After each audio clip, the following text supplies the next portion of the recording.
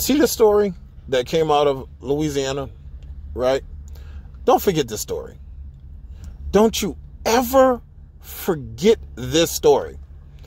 And for those of you know who follow this channel who say I'm too hard on white Christians and I, you know, you shouldn't blame a whole religion of people for something that a few did. Didn't y'all do that to the Muslims? Didn't you do that shit to the Muslims? Didn't you blame a whole entire religion for something that a few people did? Didn't Donald Trump, when he became president, start a Muslim ban for something that a few did? Stop giving it and you won't get it. Don't forget this story. Don't forget this shit. That evil ass white Christians in Louisiana, who I think are the worst white Christians in the entire fucking country. If you take all of the Christians in the whole fucking country, Louisiana is the Taliban. We're the fucking Taliban. We're ISIS when it comes to white Christians, right? Forced a woman to carry.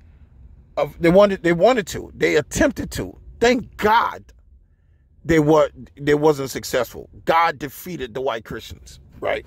And she was able to terminate a pregnancy of a baby who didn't have a skull.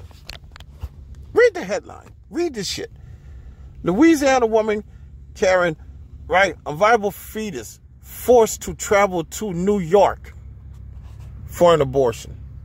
See, this is why I say you have to stay the fuck away from white Christians. You don't want them involved in shit. You don't want them over shit. You don't want their values to ever, you don't, the, the, the shitty fucking values they have in these shitty ass hands, right, to ever touch your government. Because don't forget, it was the white Christians that went into the Capitol, shit it in their hands and smeared it on the wall. That was white white Christians did that shit, right? You don't want their shitty hands touching any aspect of government. You don't want them touching any aspect of your municipality. Okay? This is a group that should be quarantined indefinitely from our society. Why? Because they fucked up because what they believe is fucked up, what they think is fucked up, how they think is fucked up. It's it's group think to the its extreme. White Christians have the inability to think as individuals. And the more of them that come together, the more group thinks group think kicks in. How you think so many of us got lynched? How do you think that happened? Who do you think lynched us? It was white Christians. It was the same, it was the grandchildren of the motherfuckers that you work with now and you go to school with now. And you, you know, it was do- it was that group, right? Some of you dating and some of you have married. It was that group. Okay? The, the group that's walking around right now, their grandparents were the lynchers. You don't believe me? Read a book. Read a book. Read any book that cover that covers a topic. Just don't read a textbook that your child is learning from. You know why? Because white Christians have taken control of what your African child is learning about his own race. So why am I so hard on these motherfuckers? Because everybody should be. See, racism is not an everybody problem. Stop saying that we all just need to get along and we all just need to love one another. And we all, that's not an everybody problem because everybody don't have this, this, this problem that white Christians have. We don't have a problem with loving.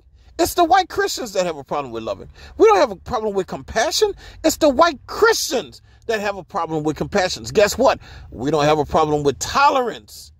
It's the white fucking Christians who have a problem with tolerance anything that they cannot control, anything that they cannot manipulate, anything that they cannot dominate, anything that they cannot force their will upon, anything that they cannot fucking corrupt or misuse or abuse, they are opposed to it and they work the sprockets of government to make sure they get their way.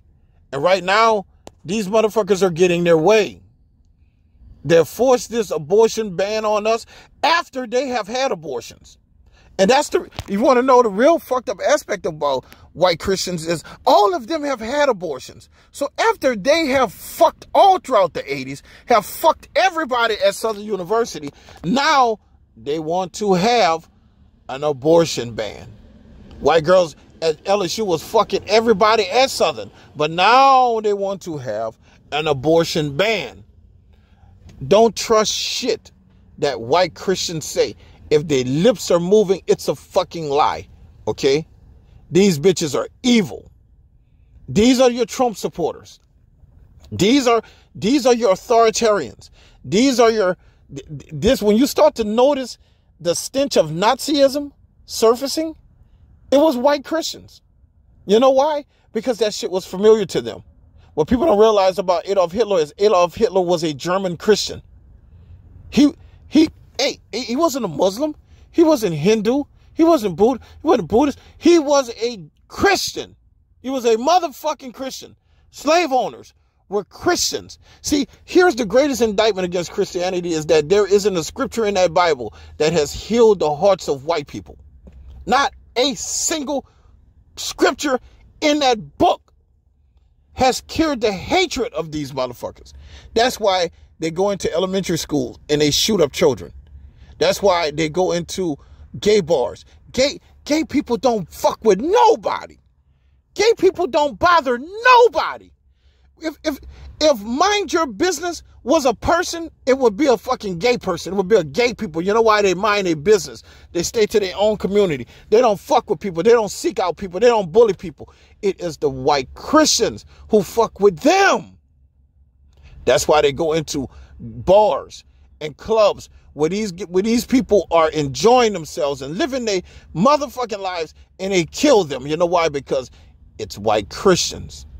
These bitches are evil. And they force this young lady, they force Davis to travel all the way to New York to abort a baby that didn't have a skull. The baby didn't have a fucking skull. How cruel are you?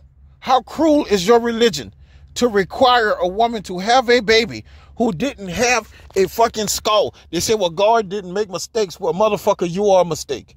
You are a mistake, Mr. White Christian, Mrs. White Christian. And God made your fucking ass.